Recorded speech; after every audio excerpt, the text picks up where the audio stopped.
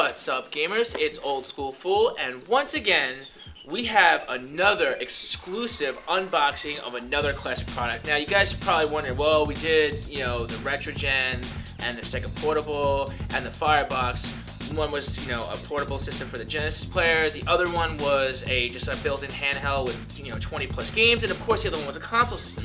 But now we have something exclusively different here, and it's the new FC16 Go! Portable Super Nintendo, yes. First portable Genesis, and of course, you can't have the rivalry continue without a portable Super Nintendo. The FC16 Go is technically a, another product brought out to, by the makers of the original FC Twin, which is Yobo Gameware. Yobo Gameware is producing this in three wonderful flavors, and that includes silver, charcoal, and red. Yes, sexy red. And today, that sexy red will be doing unboxing, and then of course, we're gonna see what it's all about. Because you guys wanna know how it works, I wanna know how it works, and whether or not we should be playing it so that it actually works. All right, so let's take a look, unbox it, and that's what you get. You get a big, huge unit that looks like a brick.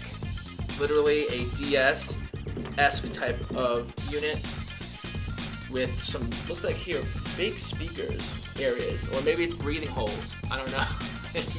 maybe it needs to breathe. But um, here you go. There it is. Two controllers, unit, power supply, battery, TV out jacks, and of course, some free cheap Chinese headphones. Yeah. Right, so let's take a look a little closer at the FC16 Go. Once I unboxed it, as you can see, there are two controllers, one wireless, one wireless, AC adapter, internal ba rechargeable battery, some cheap Chinese headphones, and of course, the the jack out to the TV set with one video connection and one audio connection. So it's not stereo. The TV. As I unfold the unit, you'll see that it kind of looks like I said a pseudo huge DS, three times the size, with nice big areas for um, for speakers. But there is no speakers there, just one big speaker right there. We have a select on and off, aka power button, and a start to start the game. We have a reset switch. Uh, to my knowledge, the reset switch doesn't reset actually, it actually just powers it down, which is kind of weird, but you can, I guess you can call it a real hard reset. Um, as we close the unit and we turn it around, you'll notice on the side there's a volume switch, okay, and there's an LCD and TV switch.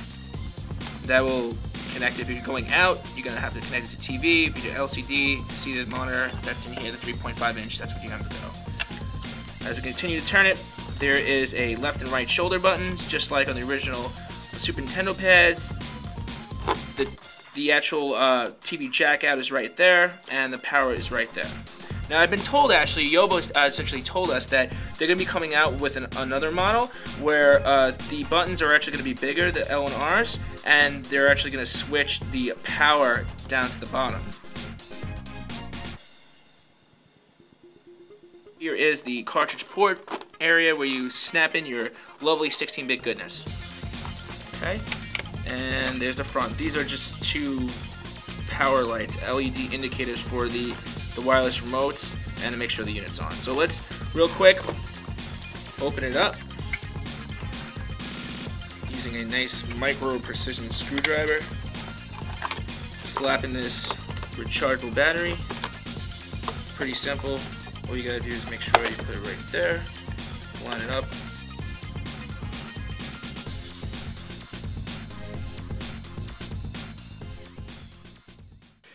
Alright gamers, so let's see this thing in action. FC16 Go with some cartridges inside.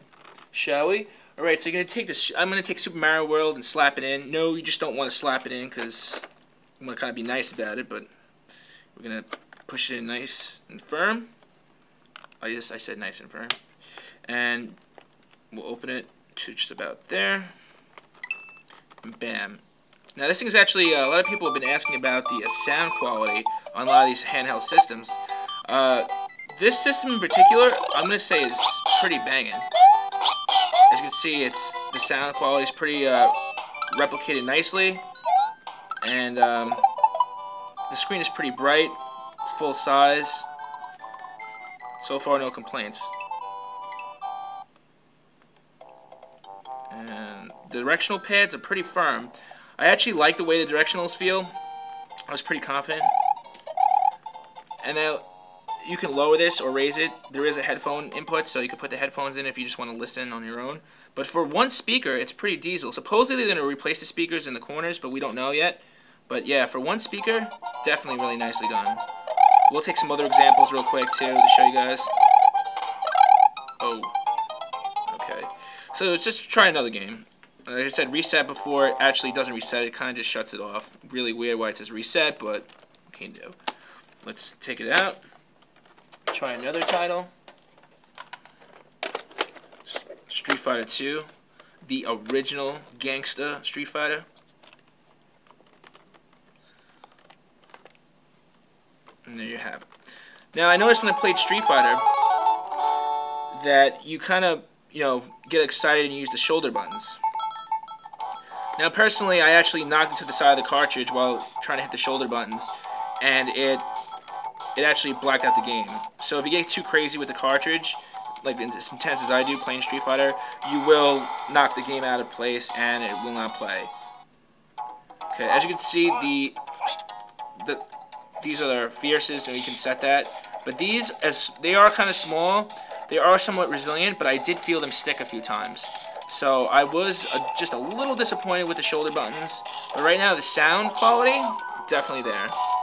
Definitely on point. I also noticed in this particular game, I didn't see in a few of the other ones, but this actually doesn't utilize the entire LCD screen. It's like 3 point, I don't know, 3.4 inches right there, you know, instead of 3.5. But the screen is nice and the screen is solid, and that's what counts. Directions feel good, everything is mapped correctly, and the sound is great. I mean, honestly, this, you could fill the room with the sound. Okay, so we'll put the cartridge in. We'll start with the Street Fighter 2 again. Put it in firmly. Press the button. And there you have it. So full screen. I can actually close the cover. Put the cover, put this unit down. Just have like that. You see the two little blinking lights. I'll use one of the wireless controllers. It comes it's kind of light, but uh, it feels pretty solid. So let's see if I can uh, pull up some moves here.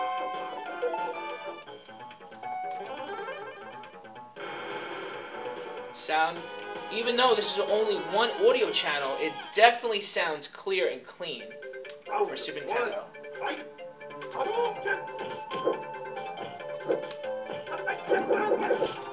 Easily pulling off specials. No problem with quarter circles, no problem with half circles, quarterbacks. These trigger buttons definitely better than the ones on the unit right now. I think we might have a winner here in regards to controls. Put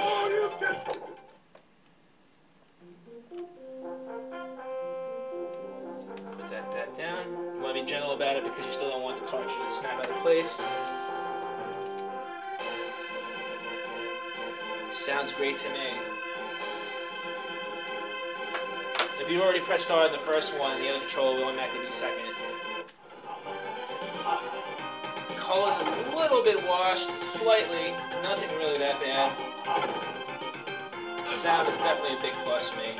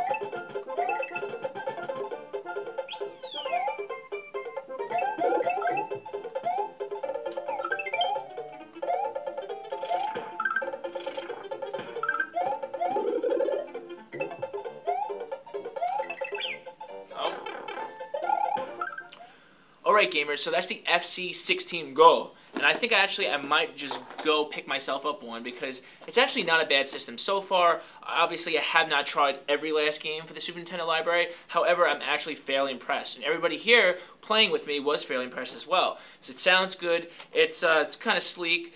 It's kind of big you know, but uh, definitely does the job. So Classic Gamers, definitely check this out. Go to YouTube forward slash DasReviews.com to check out all the new cool stuff like the FC16 Go. And don't forget to check uh, for the future for links in the description video on where you can purchase the FC16 Go.